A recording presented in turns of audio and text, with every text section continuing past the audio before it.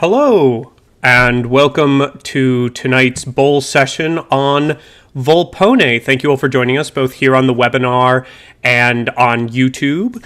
Uh, as you all know, there we just did a reading of this this past Monday. That is available until tomorrow at seven o'clock. At which point it disappears for forever.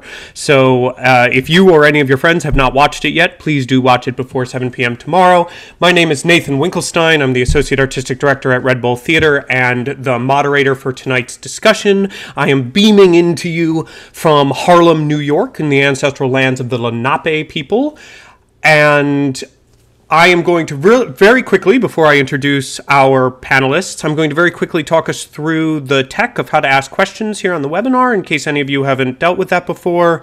If you look at the bottom of your screen, you'll see that you have a q&a option that is uh, not surprisingly uh, your primary option for this question and answer session. You can type questions into that. I will see them. I will present them to the panelists or as many of them as i can. You will not see other people's questions so both do not think you are only speaking into a void but also do not think that i have a plethora of questions. I'm always very excited to have them so please do ask if you've got anything um, if for any reason you want to ask the question with your own voice, please write the question in the Q&A and also click the raise hand function. If I see a question in the Q&A, I will check to see if that person's hand is raised. If so, I will ask you to unmute and then you can ask the question in your own voice. Uh, that does not make it any more or less likely that you will be asked to have your question. It's just if you want to engage yourself verbally. Enough of that. Let's introduce our wonderful panelists for tonight. You got a sneak preview of her just a moment ago, so I'll introduce her first. Our scholar for tonight's discussion is the wonderful Jean Howard. Uh, she is an American professor in English studies and a Shakespeare expert. She is the George Delacorte Professor in the Humanities at Columbia University. Um, and Jean, you can turn your video on now. Um, hi, Jean. um, and then my the next guest is the director of our presentation of Volpone, who you all probably know better as the artistic director of Red Bull Theater, my boss. Um, so I didn't think of a good introduction because I'm not protective of my job status. The wonderful Jesse Berger, and then finally representing the talent, uh, we have the. Um, I'm not supposed to say she's extraordinary or anything because it speaks for herself. So she played Lady Politic would be in Volpone. The actor Mary Testa. um, so you all can unmute and um, let us get this conversation started because it always takes a, a minute or two for our uh, our guests to start asking questions. Jean, um, all of our guests have seen Mary Testa in action and have seen the work of Jesse. You are our our new special guest for this one. So I'd love to start with you. Um, I know that you're a huge scholar of the Jonson works, and were uh, and that you noted that there were some changes made in this one by uh, both our wonderful director and by the wonderful playwright Jeffrey Hatcher. I was wondering how you found those changes and how you found them working, and whether they were um, loyal to the Jonsonian spirit, etc. I think they were very loyal to the Jonson that I love best, which is the really comic Jonson. And, uh, you know, I loved what was done to this text. Um, it, this version removed some of the obscure language. It updated some of the language. It did away with a lot of the topical allusions that are very hard to follow now. And it removed a couple of minor characters. And I thought all of those changes made it move faster and it made it easier for the audience to appreciate the underlying comedy. So, coming at the tail end of COVID, I thought this was a fabulous Jonson uh, version. Loved it. Um, Jesse did ask me while we're all warming up our questions if I'd say just a little bit about this play, and I'm happy to. I won't talk for more than about five minutes, but I will say a few things. This was a play uh, at the beginning of what I call Jonson's great period, about 1607. Um, Shakespeare was writing King Lear and Macbeth and Antony and Cleopatra at about the same time. It was the early years of King James's reign. And it's an example of what we call city comedy, a comedy set in one of the great urban cities of Europe. Um, most city comedies are set in London. And this one is unusual in that it's set in Venice. And Venice was, um, everybody knew something about Venice in the early modern period. It was a great city of trade. Goods came across the Mediterranean from the Silk Road. Then they were dispersed up into Europe. Many different kinds of people from Asia and North Africa came through Venice. It protected strangers and foreigners by its laws. And you'll notice that this play ends in a courtroom. Um, it was a republic. Uh, there were many unusual features of it. And lots of the guidebooks about Venice talk about the courtesans of Venice. And those weren't just women of easy virtue, but women with enormous um, cultural talents. They could sing, dance, converse. And um, Sir Lady uh, Politic Would-be mm, seems to be very interested in like being uh, perhaps in that crowd herself. So I'm interested in talking to Mary about that later. Um, but yes, uh, Venice was known among other things for its courtesans. What Jonson did was make this the city of avarice. And from the opening lines of this play, when Volpone comes out and praises his gold and grabs those coins out of the chest, this is, we know, a play about greed and everybody wants uh, money. They want money. And what will they not do to get it? They'll prostitute their wives, they'll disinherit their sons, they'll do anything. And to underscore how bad this is, Jonson makes the, gives them all the names of beasts because they dehumanize themselves. So Volpone means fox and Mosca means fly, and then Vol, um, Corvino and Corbaccio, these are the names of birds of prey, vultures and crows and things like that. So he's using the beast fable to indicate what this kind of avarice um, does to people. Part of the art of this text is that it's all done in one day. It's the unities. You know, everything happens in Venice, one place, in one 24 hour period. And the speed of the play is a result of that. And as one scam unfolds, uh, another one interrupts it. And Hamish, as um, Mosca began to sweat wonderfully as the play went on because he had to move so fast. And that's part of the fun of this play. And in the next big comedy he wrote, The Alchemist, Jonson just speeded everything up twice as fast. He was learning how to do these wonderful farce plots based on the unities where just one damn thing happens after another. And I love the way that this was so speedy and things like just toppled on top of one another. Um, one final thing I'll say about this play, just to get us rolling, is that it's very theatrical. That is, theatricality is built into the heart of the play. Everybody does their scam by dressing up as somebody or using props, putting on a play. And every time that Volpone pretends to be sick, he puts on his black cap Andre did that repeatedly, and he gets his blanket or his shawl around him, and he's pretending to be sick. But when he's Scoto the mountebank, you know, wooing Celia, he's limber and spry and has his vial of potions and so forth. And he completely transforms himself. And that is the art that underpins the scam always. And of course, Jonson is a dramatist and his stock in trade is using devices, theatrical devices, to make his play. So he's kind of winking at himself. The last thing, I did say it, the former comment was the last one, but I didn't mean it. The real last comment is that this is the grimmest of Jonson's comedies. And it has a really weird ending for a comedy because all these scammers in most of Jonson's other plays, they all get off in the end um, you know, they're forgiven. Um, sometimes they just run away and they're not really forgiven. But in The Alchemist, a couple of them just go out over the back gate and are gone. But in this play, there's this court of law at the end, and they're very grim punishments. Uh, this production went over that pretty fast because it was more comic. But nonetheless, you know, Volpone having pretended to be sick both loses his fortune and has to go to a hospital for the incurables with the lepers and so forth. And he's going to spend his later days not living in luxury, but living in this hospital. and uh, Mosca's going to the galleys, you know, and be whipped, and others lose their fortunes and are paraded through the streets of Venice or the canals of Venice as cuckolds. So this is an unusual comedy. Some people haven't even wanted to call it just a comedy; they wanted to call it a tragic comedy. Um, and Jonson got softer, funnier. I don't know what word we want to say, but his other comedies don't end in quite this grim fashion.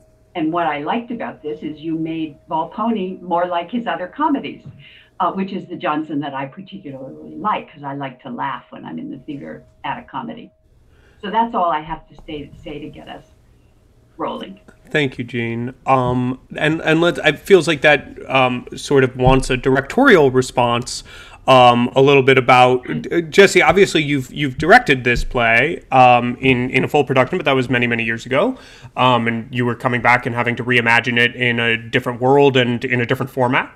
Um, and what was it that uh, got you excited, other than the fact that it's a great Jonson play? What was it that got you excited about coming back around to this play again for this presentation? Um, that's yeah, so much. Great question, and so many interesting things to talk to and Mary about. I mean, what, what got me excited about it? Um, well, I wasn't that excited about it. I thought, oh, at first I thought, uh, I guess we could go back to Volpone. It's been about a decade, uh, but I, I'm a little leery of going back to things. I think, oh, we did it. It was successful. Let's just let it be. I don't want to do it and fail. you know, we made it. But and Jonson is prickly. Jonson is hard. So I remembered the effort of the 2012 production that we did and it was a wonderful cast and it was a great experience and it was tied up with hurricane sandy like it was it was a difficult it was a difficult process so i so at first revisiting it seemed like oh, i don't know if i want to go there again uh, but i re- but i also knew that it was a great comedy and it was a great way to finish our season online and and it was almost a year to the day mary i don't know if you re- realize this almost a year to the day that we did an online reading of the government inspector yes. last yes. year which was one of our first kind of forays into the online universe of readings and stuff, and that was so much fun. Um, and so I thought it would be a really nice bookend to that experience for all of our online audiences as well as ourselves doing it. And um, for those of you who have been following Red Bull, uh, and I know many of you listening are, we were planning a production of Ben Jonson's The Alchemist for the spring of 2020, and then the fall of 2020, and then the spring of 2021, and now sometime later, sometime sooner than than uh, uh, sooner than later, we hope. We're, but it's coming this season live. So I wanted to do Ben Jonson. I wanted to make sure he was part of our spring season online. Uh, and once I started working on it, I'm sorry, it's a long-winded answer, but once I started working on it, I thought, oh, this is so much fun. Of course, we're going to get a great cast of wonderful characters and together, play it online. And um, but there were aspects of the text that I thought, oh, I don't know how to fix this. And I had done, and Jean was the scholar on uh, and wrote wonderful program notes and was with us on that in 2012. And I wasn't sure how to solve some of the problems that I thought, oh, this is a little, these jokes are not as, not so funny and they're a little tasteless now. And, and I'm not even sure why I thought it was okay in 2012, but it's definitely not okay now. And so I called on Jeffrey Hatcher, who's a wonderful playwright and who also did the version of Government Inspector that we did a great success. And we also had commissioned to do the version of The Alchemist that's coming uh, to theaters near you in New York City soon, live. Um, and so I called Jeff and I said, Would you please help us a little bit with The Alchemist? Uh, maybe fix a song or two. Some of those lyrics are just not funny and they're a little insulting. And of course, Jeff, um, well, not of course, we are lucky that Jeff is a very um, facile and uh, talented and brilliant and funny and fast writer, and he once he got into it, uh, he he couldn't stop himself, and he would say, "What if I took a look at that scene too? What if we did a little bit here for Lady Politic?" And uh, and I would say, "Yes, please." And what about and what about this? And I was I always thought it was weird. Lady Politic would be, for instance, that doesn't appear in the last scene of Volpone in the original. And it was always, it always bothered me. I thought, well, I, but I'm not a writer. I'm just, I'm really good at editing these plays. I'm not so, I'm not a writer. So I said, is there any way Lady Politic could reappear at the end of the play? What would that be like? And, you know, the next day I had a scene. So we were really lucky that we had Jeff, who is a kind of Jonsonian spirit, I think, to work with on, work with us on this bringing it forward. So that aspect of it was a lot of fun. Um, and there's so many things. I, I, wanted to talk about the. I wanted to just follow up on one thing you said, Jean, about the. It's so interesting this thing about the bitter ending and uh, the kind of you know some of the, a lot of the scholarship and i remember reading it back in when i was working on the play in 2010 11 and 12 and again now about how it's a savage farce and it has such a bitter ending and it's true those punishments are bitter but the more i worked on it and of course we were going at it from a comic standpoint of wanting it to be a fun filled event as much as possible but I, I wonder even other than the fact that those punishments are real punishments I don't know if it's so bitter. I, I don't. I think maybe the audience would have thought that was funny anyway. Uh, you know, and maybe it is. I wonder about where that scholarship begins, where that sense of the play as being kind of bitter and dark um, comes from. Because uh, is it contemporary Jonson that we hear about that, or is it? I'm suspecting. I'm theorizing. It's 20th century scholarship looking back and saying, you know, in a kind of post World War II way, saying what a dark what a dark comedy this is, when in fact it may not have been. Well, your hunch is right that the scholarship is 20th century, and Jonson has always been, in contrast to Shakespeare, written as the moralist. Mm-hmm. And people argued that his morality was quite harsh and he was quite intolerant of foibles and especially uh, avarice and greed, so, so forth. And yes, that is a 20th century critical construction. I, of course, we don't know what audiences thought in the period. It's certainly not a Shakespearean ending, nor is it an ending really like The Alchemist or Bartlemy Fair. I mean, terrible things happen in Bartlemy Fair, and then in the end, the sort of the sheriff in town, Mr. Overdo, says, "Oh, come to my house for dinner, everybody." and you know everybody's invited nobody's punished for anything in particular and it does seem that Jonson's sense of a comic ending evolved so i think there's plenty of comedy in volpone i thought you brought it out and all the changes contemporary editions they all were great um, i didn't think you completely wiped away the force of some of those last lines they're just they're just there there. No, she says, "Let mischiefs uh, feed or something until they bleed." I mean, it, you're right. There, I mean, there's definitely a, a mean spiritedness in that, or a um, there's a jaggedness to Jonson. I think I said to the I, I, read a quote to the actors that I wanted to share, and and and I'm sure Nathan has a great question for Mary, but but there that I really like. Uh, Anne Barton, who is a scholar, I'm sure you know, Jean. Uh, mm-hmm.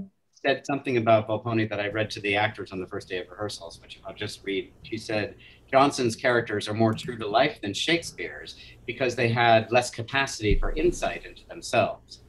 And I think that's really true. And that that's what makes, in a way, makes it more fun. I think comically, maybe Mary, maybe you could respond to that. I mean, well, I, I you know, I love, I realize that I love playing a character that's deluded. I mean, that's it's just it's wonderful because you can be anything and have any attitude because you are completely unaware of the reality of what's going on. So, you know, uh, Anna was that way in Government Inspector, and and so was is Lady, you know, Lady would be. Um, so yeah, um, that makes perfect sense. You know, it totally makes perfect sense. Kind of the opposite of it. You know what I'm saying?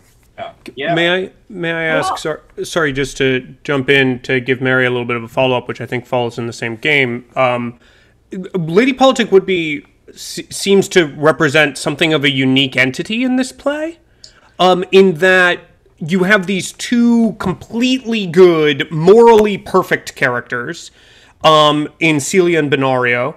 And then you have a whole bunch of people who are avaric- avaricious and nasty and clearly objectively bad people. Mm-hmm. And then you have you, mm-hmm. who I, I, I guess I ended up finding myself curious. Were you coming to hang with Volpone because you wanted his money, or did you just really like Volpone? I think she's visiting. You know, she's yeah. English and she's visiting um, uh, Venice, and you know, he's the cat. I guess. You know, I really didn't think that much about it, to be honest. think, sure. You know, I was just playing what the scene was. Um, Yeah, I think Volpone, she, Volpone is a kind of tourist attraction. Here exactly. I am. Let's go to Volpone's house. so if she thinks she can be in the will, why not? You know, if anybody anybody thinks they can be in the will, why not? You know, Uh, she definitely sure. wants to be in the will. She's so upset about it at the end, right? Um, they're they all are right. They all think they're going to be in the will. So Yeah. But she and her husband, who I cut, Sir Politic is, and Peregrine are the characters who I cut, and they're sort of dilettantes, I think. Uh, you know, if that's the right word. what what were the what what was the husband like? Maybe Jean can tell more, but can you tell? I mean, he's he's a. Go ahead, Jean. she, they're, they're two English people. Peregrine is a young Englishman who comes to Venice, and Sir Politic would be takes Peregrine under his wing and is going to show him Venice. But of course, the husband is a nutcase. He has all these inventions that he's doing. Like he thinks he can ward off the plague by hanging onions around a ship, for example. Deluded, And yeah. He's just a, you know, a nutcase. knows He everything. also is one of these, Jonson's making fun of him. He writes a diary where he accounts for every minute of the day. So, you know, it's no wonder uh, Lady Would-be is tramping around Venice looking for something to do because she's, she's, you know, united with him. And Peregrine um, is much smarter. And he tricks this husband at one point into hiding under a giant tortoise shell, and other characters ride on his back. And that's one of the great sight jokes of this play uh, in its full version is uh, the husband in a giant tortoise shell with his hand sticking out. Does Sir Politic? He has little bits of paper all around, all over him, or something. Yeah, with all Yeah. his notes. Yeah, I Yeah. remember this. This is not a small part of the play. For those of you who don't know it, this is an entire act of the five-act play. That See, I didn't know this was at all. Oh, no, at one, I mean, I cut him from in 2012 too. I mean, at one point I said, well, this is going to be a four-hour play or it's going to be a two-hour comedy, and we went for two-hour comedy. It's Right. almost like it's almost like a comedy doesn't need a comedic subplot. Um, can so Yeah. can I ask? Um, the we've got some questions coming in, which I would love to uh, to direct, and one of them is specifically stated towards Jesse, but I'd love to actually give Mary an, a chance to answer it first because she's got an, has the actor perspective on this, which is um we, we might as well ch- get it out of the way. Uh, talk about the rehearsal process um, for the Zoom production and uh, the time spent uh, with actors on things like props and Right. tech and how that was um, a little peek behind the curtain of uh, what that process was like. Mary, do you want to give it from the actor perspective? Uh, it's just it's slightly challenging i didn't really have horrible prop stuff um, in my character but you know the passing of stuff is technical and um, it, it, it's slightly challenging and slightly tedious to try to figure out exactly because zoom is such a you know a different thing but it really works and it really looked great so you had to spend the time i enjoyed the rehearsal process i complained a lot about the technical aspects of everything the green screen and you know and getting all that stuff but um i i really enjoyed the rehearsal process but it's such a wonderful group of people how could you not you know I think. I think that's all I have to say. props. The um, the chastity belt was my my favorite prop. That was priceless. I'm glad you appreciated that, Jean. I mean, the actors really, they did a lot. And Mary did a lot. And, and Hamish, who was sweating, as you noticed, Jean, uh, rightfully so, because he had the most props and changes of anybody to deal with, plus a song that he was playing on his iPhone and, you know, all sorts of stuff. So it, it's hard. And, and I think uh, we were so grateful to the actors all throughout the shutdown for every everybody's work on these things, but particularly on something like Volpone, where we did, we really did a lot of extra things with costumes and props um, it really takes a lot. And the actors, you know, actors are, are wonderful, talented people, and it's really fun to work out timing when you're together in a room and you have a stage manager who can help you, you know, put the prop in the right place, and you have a dresser who can help you get your corset on. And they had to do all of this without any help. And so, you know, it's really kudos to everyone involved that it, that it yeah off. so hopefully you guys don't get that used to that because you know Yeah. It's like oh by the way everybody's going to dress themselves now in the theater Yeah. you know Find your own prop. You did it when you were at home. Where did you get all the feather props for all the vultures and things? The actors didn't have to make those, did they? Oh no, they didn't make any. No, no, we delivered all those things. We had a wonderful costume design team, Rodrigo Munoz and Sofia Prado, working from Clint Ramos' original designs for our 2012 production. Um, found those we ordered our team, Nathan and Sherry, we ordered them, delivered them to the actors wherever they were, some in St. Louis, some in Los Angeles, most in New York. And and those Great. those costumes, we just received a costume piece late um, earlier today, uh, sort of a, a modern take on a coxcomb that um, was delivered from Russia after we bought it on Etsy. So it was Oh all all over all over the place. It was quite an experience. Um, our our uh, our offices became like a mailing sorting house for a bit in there. It was it was a joy. Um, the and that question uh, I should have said that question came from Jennifer Parr. Um, we the first question that was asked is actually about a very specific thing, which I mm, it's probably a director question, I guess. Uh, Volpone's performance as the mountebank um, seduces Celia to throw her handkerchief. The effect on her husband is clear, but does Volpone feel that he has already won Celia and so has a right to her and will succeed in that that next gambit? Is that why they make the mistake they make? I think that's a great question, and I, I would agree. I think he thinks she's dropped her handkerchief because she understood the message he was sending. So Yeah, I do, I- I, do think he sees, he's a Lothario, and he, he sees himself as a great lover, and no reason why she shouldn't love him. And why does she drop it then? Well, we have to assume she doesn't tell us, and Jean may have ideas. I, I think she's just playing. She's she's locked up. She's only allowed to go to church sometimes. Her husband's away for five minutes. She opened the window, and here's this charming character on the street, and he says, you know, he says, throw down your handkerchiefs, and so she does. She's flirting a little bit, playing a little bit. She doesn't expect to ever see him again. I think the uh, handkerchief is always an erotic object on the Renaissance stage. And so a woman throwing her handkerchief, Volpone isn't wrong to interpret it as a an erotic signal. Whether she really meant it as such or was indeed just playing and assumed she would never get down from her second story perch to actually do anything with him is an open question. Um, and you know he doesn't look all that unattractive when he is dressed up as Scoto. You know he isn't really sick, and you know he, who knows? I mean, Corvino is not such a catch. Oh, no, That's true. don't tell Christine. We have a there's a couple of comments from uh, Gwyn Dujardin uh, that I are they're they're they're basically just comments, but they're both interesting comments. So I'm just going to put them into the space in case uh, uh, we want to respond to them. Um, one is that the ending, the, when we were talking about the ending of Volpone and how it's sort of a tragicomedy morality play type thing, um, she mentions that Shakespeare's Love's Labour's Lost has a similar style of ending where the princess assigns the failed suitors to tasks that correct their personal foibles. Berowne sent to talk to the sick because he needs to learn the meaning of language, the same way that Volpone is sentenced to minister to the truly sick. Um, it, it's also a moralistic problem ending that way. Um, I don't know. Love's Labor, they're in relatively similar times, right? Love's Labor's Lost is a relatively late comedy. Am I No, remembering that right? 1594, so it's Nope. early. Um, and the, Close. the difference is that the, I I agree there are similarities. One of the differences is that they only have to do that for a year and then they're going to get the woman. And so it's like they're Ah. going to be punished, okay, but there's an end to the punishment. It's not like being in the galleys for the rest of your life or the hospital of the incurables. But there is, in that play, a sense that the male ego has to be curbed and the women, and it's a beautiful play for female power.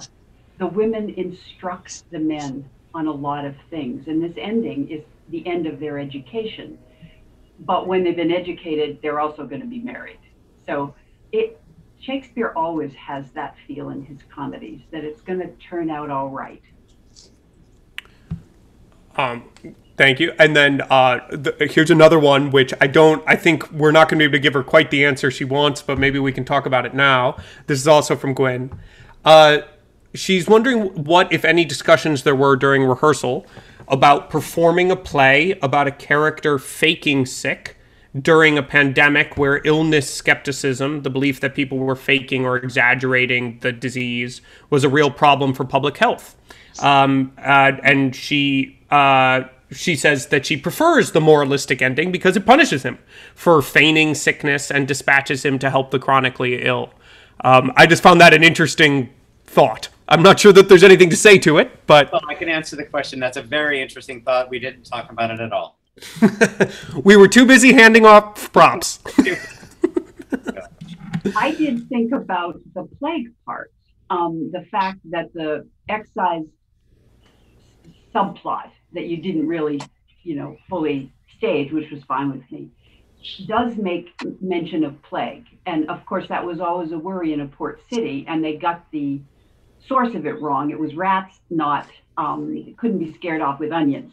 But there is a kind of penumbra of disease around this plague um, fake disease, real disease that's there um, that that one could in another production decide to bring out. I mean, there's another there's another play to be brought out than the one that was performed.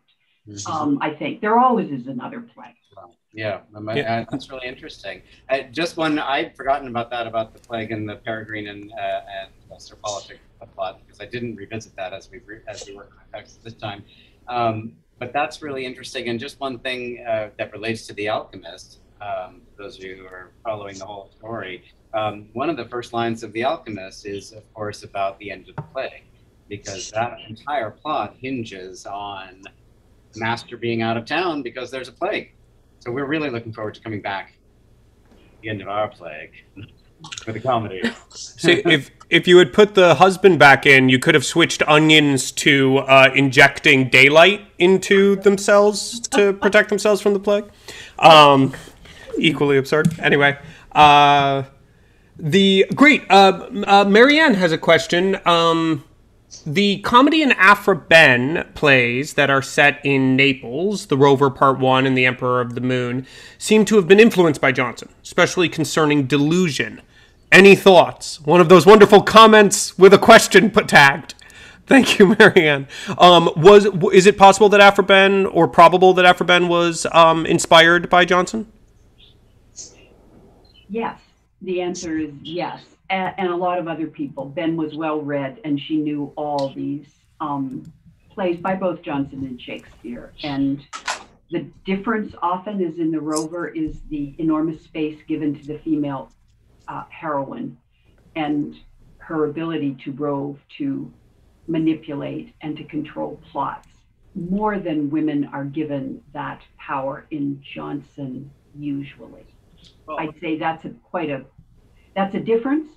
But Behn was a real good reader of early 17th century drama. Dean, can you think of a play where Ben Jonson gave women their due that I'm not aware of? Because, well, may, I mean, even Doll Common in The Alchemist is a wonderful character, but she doesn't get what Subtle and Face get.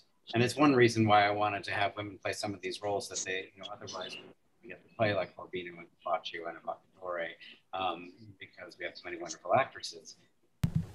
No, there I, there isn't one. I mean, there are great female characters in Bartholomew Fair, like Ursula the Pig Woman, but she is really interesting because she's this great grotesque woman who has a place where you eat pig, and then she has bottles that other women urinate in. So her pig house is both a urinal and a diner, and you know, Let's do you it. don't you don't ever forget Ursula the Pig Woman, but you know you don't you know it, she's she's a, a wonderful female character n- notorious one but Yeah. she's not like an a heroine in the traditional sense Well, it sounds like the title character of a new play. Yeah.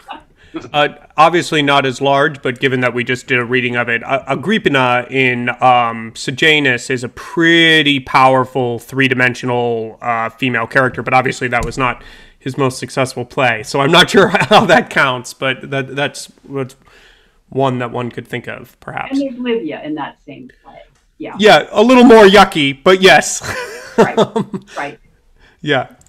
Um yeah, well, we're we're uh, keep bringing the questions, y'all, because we're out. I think we have another comment. Um, but oh, this is about Lady Politic. Volpone is an old guy who was a beautiful young guy. Lady Politic is working both sh- sides. She wants love and flattery as well. Coming in Sure. Yeah. Of course. What woman doesn't want that? You know, doesn't matter what the age. Right.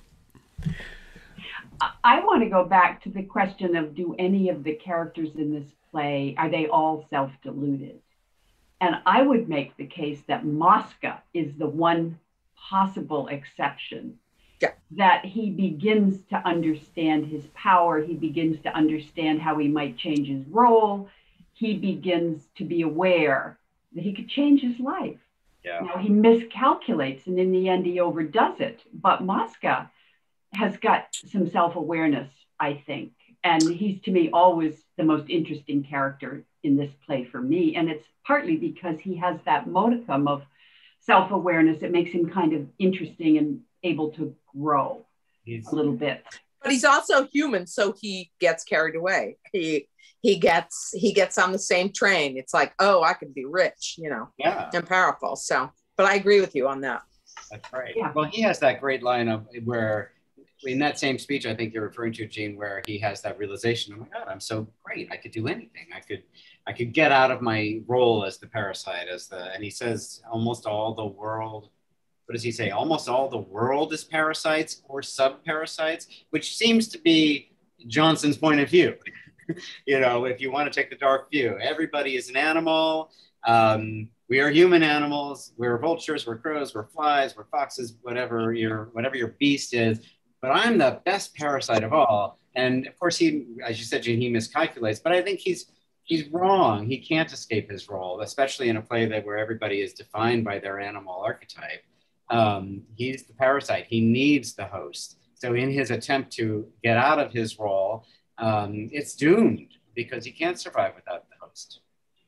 May I? That's an interesting perspective, Jesse. Yeah, So- he can't really become the Magnifico he wants to become. Yeah. just as a, a perhaps a counter so i find the relationship between these two to be by far the most interesting part of the play um, and I, I am curious when actually it first occurs to Mosca that why can't he be heir at some point as the great trickster um, and i'm curious whether or not that exists from the when that tension enters the play um, between the two of them. I mean, he has that very odd little line, odd little comment um, when he's left the mountebank scene where he's like, "Oh yeah, you were great. Actually, I don't have time to flatter you. I have to go do a thing." Which is like this weirdly self-aware moment of like maybe he's not actually being all that honest with Volpone either. And I found it really interesting that the the commoner, the only commoner in the play, is not self uh, uh, is being forced to use his talent and skill to make the rich richer Right. um, which has one set of moralities, which is an interesting one. And then the additional set of moralities is when said commoner suddenly gets riches, he immediately turns into an avaricious, avaricious rich dude. Like it's a very pessimistic look at wealth, um, and and I'm not sure it's a wrong one. Uh, but it, it did it did strike me that he was really really smart and really really capable until he got rich, and then he immediately lost it. Right. That's really interesting. I mean, I'm sure everyone. I want to say two things. One is um, there's a really interesting adaptation of Volpone by Stefan Zweig, which I'm sure Jean you probably are aware of, and it held the stage. It was the it was a German version that was translated in, into English, and it was the more commonly performed version of Volpone. If I'm remembering this right, Jean, correct me if I'm wrong. It was the more commonly performed version of Volpone, I think, for 40 or 50 years in the 20th century. And it and at the end of this Volpone, Mosca gives his money away to the poor. He does win and he gives the money away to the poor. And so, you know, like that, it's it takes what you were saying, Nathan, and takes it in a different direction, in the kind of proletariat socialist direction. Um, but I, I think that I think that the the idea that he could become the heir is probably latent, but it, but in the play, in terms of the acting of it and the performing of it, I mean, I would look for the moment in the play where he where he really realizes it, beginning with that speech in scene eight, but not not fully until the actual scene where Volpone says, "Here's my will." Yeah. Ding! It's just more active for an audience to just experience that moment of discovery together. But I do think that Volpone and Mosca have a very super duper codependent relationship. And I would, I did say to Hamish that uh, early on, he emailed me a few days before we started rehearsal and said, you know, give me some thoughts about the character. And one of the things I said was, I think that they really love each other and they really need each other and they're totally symbiotic. But every sort of 12th hour or on, on the seventh day, Mosca wants to kill Volpone. He would like to kill him. he does everything for him. And he gets, you know, he gets to enjoy the party in the house, but he's never thanked enough. He never gets to be the heir. And so I think. And it does.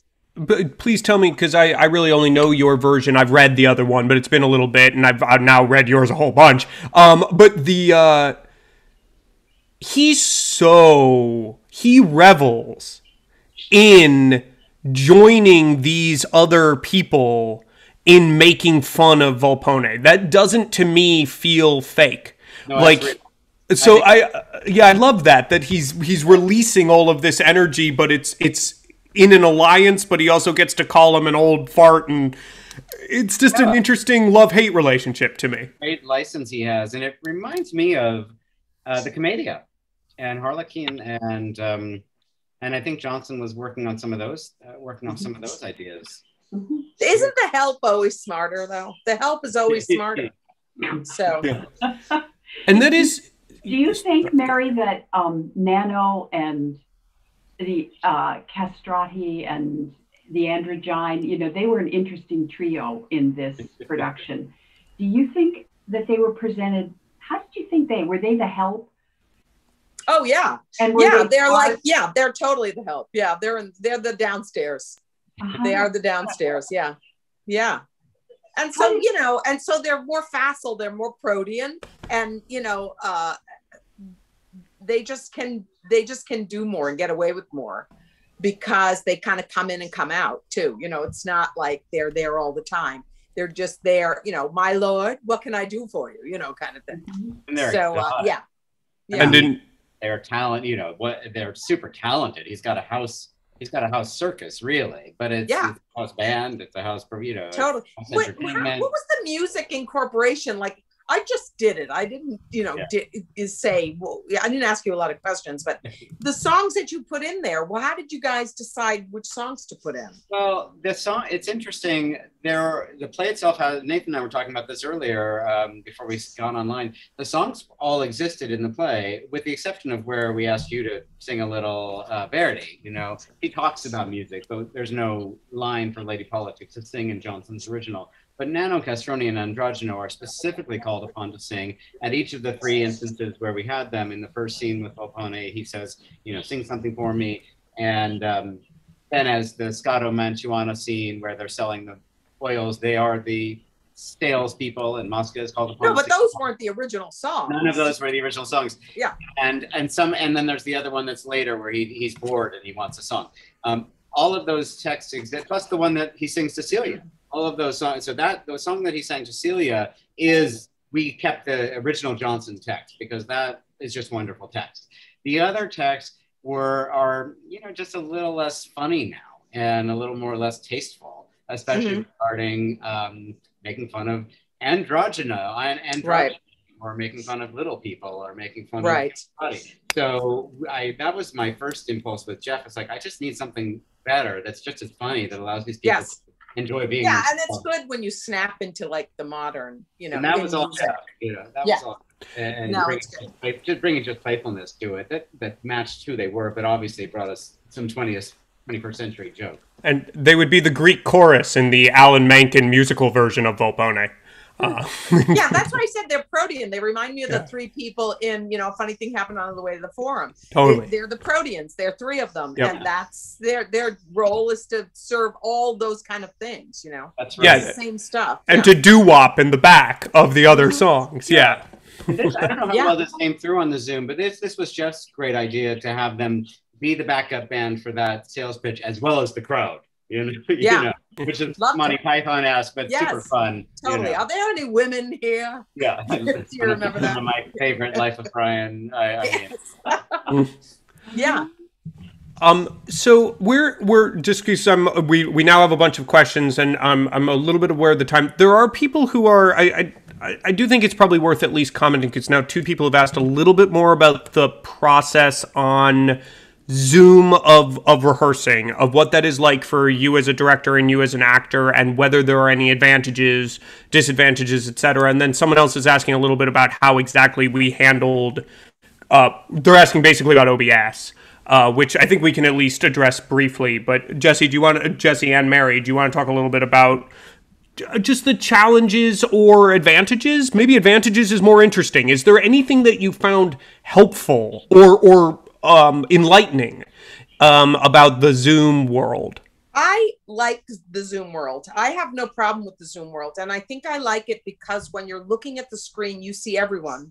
And, uh, you know, of course, you did some technical stuff where only the audience saw the people that were doing the play. But when you're doing a Zoom reading, you're able to sort of look into somebody's eyes without it. I find it really interesting. So to be able to watch everybody, um, I thought was uh, fascinating, and I I enjoy a Zoom thing. Now I enjoy more being in person in the theater, but I also enjoy this this um, this technology. So um, so I I had a wonderful time, you know, doing it. That's great to hear, Mary. So here's the the Zoom of the year question: When we're all back in person soon, are you still going to come along for a Zoom reading, just for fun? Yeah, I don't have any problem with it. You're in your house. Like I can be in my pajamas, except for, you know, if you've got a costume. But you're in your house. It's like less stress, you know. I and, I actually like it. I Mary, could could you also speak? Sorry, I, I, I have found it very interesting um, finding the balance between stage work and film work that Zoom represents because it's so first person compared to television, right? It's really not television. And if you don't explode your box, it gets boring very quickly. So, have you, um, how have you found adjusting your acting to this weird little box?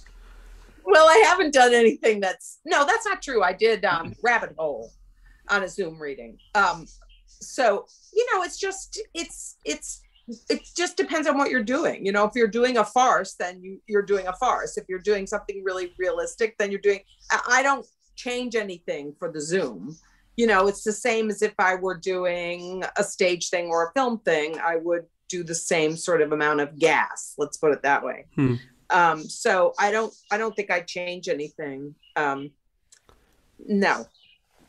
Got it yeah, that's interesting. You were, you were great. You filled up yeah. the Zoom world just. Oh, that's very nice of you to say. I had a little, you know, because I'm going to tell the story, Jesse, because okay. you know I did government inspector and I played Anna in a certain kind of way, and I knew this character was the same in many ways. It was kind of the same. And for me as an actor, and I had discussions with Jesse, I didn't want to do the same thing. So I kept trying to find like a really annoying voice to do this character. And it just, it wasn't right. And I knew I had to go back. But for me, I was trying to find something different as an actor that, you know, somebody would see this and go, oh, she's playing that character again, you know. Uh, it was purely, you know, ego driven.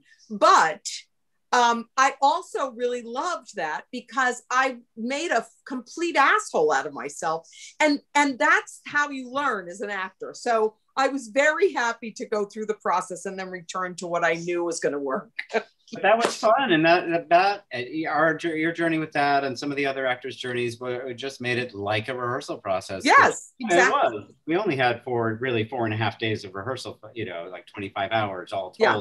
together, so it wasn't a lot, but we had such a great group of actors, and I think people's comfort level with the Zoom and everything else over the last year has gotten so much better that all of us are just better at communicating on it, and so mm-hmm. we were able to just relax and and play with the play and ask those kind exactly. of exactly yeah with the time we had. So you know, I I definitely don't prefer it to live theater, and while watching it live on Monday night was exciting and I really I thought it went great. It was fun, and I was alone here in this office going, and I would go, ah, you got it, it worked. um, it's not the same as being in person, but there are lots. No, no, of course not. It's not at all. But do, you know, it's doable. Do you miss laughter, Mary? Um, I I suppose I do. I have to say, you know, pandemic wise, uh, I enjoyed the pause. Um, so I think when I get back to a live audience and I hear the laughter again, I'll be delighted. But um, I it wasn't like I was down. I risk. I have a friend who's who is you know, I've got to do this thing and I don't have an audience and I need an audience. I need laughs, you know, and it's like, well, try and see what it's like to do it without and, and just do it without, you know? So when I get back to a live thing and hopefully people will laugh if I'm doing something funny, I'm sure I'll love it, but I'm okay with it without it as well. Jesse, are you thinking of doing anything still on Zoom when this this horrible period is over? I mean, you're going to do live shows, but are you thinking of any Zoom something? Yes, we really are. We haven't figured out exactly what we're going to do, but we've we one of the silver linings for us and and everything we're doing is that we've reached a wide, a much wider audience. And it's no, it's not the same as live theater, but folks all across the world are able to tune in and watch these readings and and the discussions that we're having like the one we're having now. So we feel we've met a lot of people who wanted to some people who would write me and say i live in seattle. I've always wanted to see your work. I finally got to you know experience it. I know it's not the same as live theater but thank you. So uh, so yes we're going to continue to offer some online programming and we're very excited to get back to the next year i'll be starring as the pig woman. In that, in that yes. Um, it's a great part, Mary. It's a really good one. it sounds a lot like. Well, we'll see. We'll see. so I think we've hit the point where we're going to do a whip round of the these final questions because a lot of them are kind of quick quick questions. Um, but and we're getting close to our time, so just to get a few of them because we've got quite a few. As they're better questions than the mayor's lightning round debate last night. uh, I had already voted, so I didn't watch. Um, so the uh, so starting with Elsa Ephron, uh, Jesse, uh, she's asking whether or not there were auditions or whether we had people in mind from the start. Just pulling no that curtain back. No auditions. We just asked people that we knew and loved, and hope they said yes. Um, uh, Regina Jane wonders whether or not we think Mosca would get himself out of the galleys. Oh, I hope so, but I doubt it. Um, oh, I think he would. Oh, good. um, the Sherry Friedman is asking about the the um, the placement of the boxes and how we did that. To give a very short answer to a very long question, um, there is a program called Online Broadcasting System where you can basically live cut out pieces of your computer and put them into that and it will broadcast that. So basically we have Zoom as like a paint template and then we put them into a pre-designed set of of boxes that Jesse sketches out and our operator then or the director sketches out and our operator then builds.